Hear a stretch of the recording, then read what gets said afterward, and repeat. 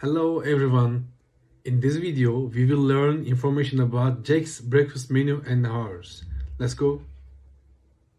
Jack's Family Restaurant is a popular breakfast spot, offering a variety of items like the bacon, egg and and cheese biscuit, steak biscuit, and fluffy pancakes. While Jack's doesn't serve breakfast all day, their breakfast hours.